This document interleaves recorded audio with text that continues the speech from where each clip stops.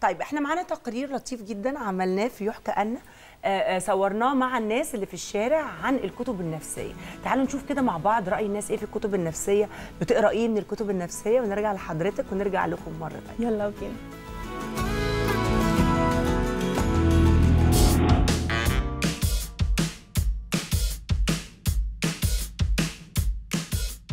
جدا بحب أقرأ فيها جدا جدا يعني فوق ما تتخيل.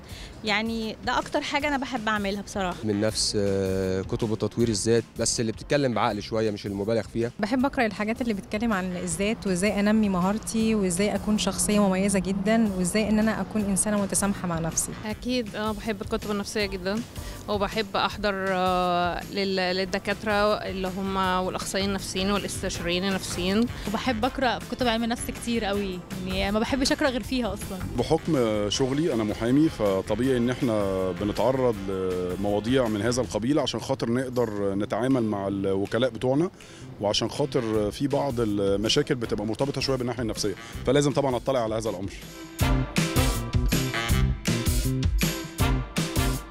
يعني قريت مثلا لإبراهيم الفقي مثلا وقريت لأستاذة نا- الدكتورة نانسي سميده برضو وبتابع كل اليوتيوب بتاعها صراحة يعني بجد أنا استفدت منها كتير جدا. آه، بقرأ آه، لدكتور إبراهيم الفقي الله يرحمه وبقرأ لدكتور نانسي سميدة وبقرأ لدكتور أحمد هارون. بقرأ في تطوير الذات في إبراهيم الفقي إزاي آه، تبقى عندك هدف وتحققه وإزاي آه، لو عندك مشكلة إزاي تحلها تحدد نوع المشكلة وتحدد أهدافها وإزاي توصل لحل والطرق البديلة والحلول البديلة. متابع بعض ال- الأساتذة الدكاترة الكبار زي آه، دكتور أحمد هارون آه، الله يرحمه والمرحوم دكتور إبراهيم الفقي. آه، في كتاب يعني بحبه جدا لكتاب دك- دكتورة اسمها جين سنسوري وفي برضو جوزيف ميرفي وفي برضو دكتور إبراهيم الفقي.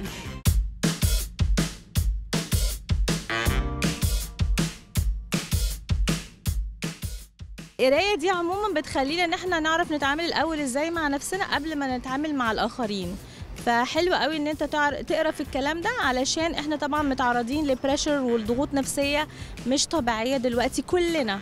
بكل ال ages وبكل المراحل. فالقراية في الموضوع ده بتخليك عارف تتعامل إزاي مع نفسك وتطلع الطاقة السلبية أول بأول. بعلم الأولاد إزاي ينموا قدرات نفسهم؟ وإزاي يكونوا شخصية مميزة جدا في المجتمع اللي إحنا فيه وإزاي يواجهوا أي موقف يحصل لهم سواء كان بالإيجاب أو بالسلب وإزاي يعرفوا يردوا عليه بطريقة إيجابية وبتخلي اللي قدامه حتى كمان يغير اللغة بتاعته والمنطق بتاعه. بتفرق معانا كتير جدا في إشباع احتياجاتنا النفسية وإشباع احتياجات أطفالنا و- والمحيطين بينا بنعرف نتعامل معاهم بشكل إيجابي. آه، بننمي مهاراتنا الشخصية. آه، بتفرق كتير جدا معانا يعني. بتفيدنا اللي إحنا بنعرف إزاي نحدد مشكلتنا. هل المشكلة دي مشكلة فينا إحنا ولا المشكلة دي مشكلة إحنا يعني و- و- المشكلة وصلت لنا إزاي؟ وما ينفعش اللي إحنا نحل المشكلة بنفس الطريقة اللي الواجب فيها مشكلة. لازم نغير من تفكيرنا عشان نبدأ نحل المشكلة لغة تواصل و...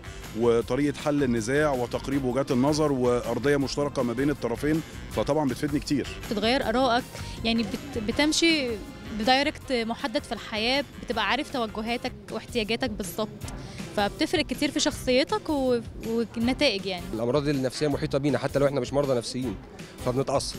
فمحتاجين دايما نكفور ده ومحتاجين دايما الدعم من الكتب النفسية ومن كتب المتخصصين.